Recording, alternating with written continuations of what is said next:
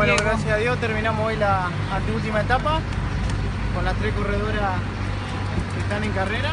Mucho calor, muy dura se hizo, muy rápida. Así que bueno, gracias a Dios ningún desperfecto, todo en orden, ningún pinchazo y bueno, a terminar mañana.